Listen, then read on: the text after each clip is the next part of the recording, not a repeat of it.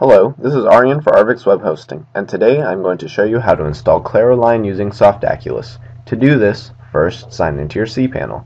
Then, scroll down to Software slash Services and click on Softaculous. Expand the Educational tab and click on Claroline. Click Install. If your site has SSL, choose the HTTPS protocol in the Choose Protocol box. Then, select the domain that you would like Claroline to be installed on.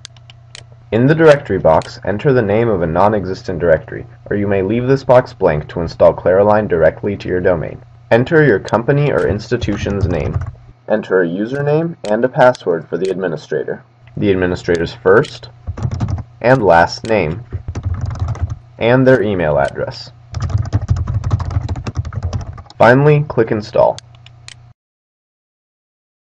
You will now receive a confirmation page which includes the URL for administration. This concludes how to install Claroline from your cPanel using Softaculous. Thank you for choosing Arvixe.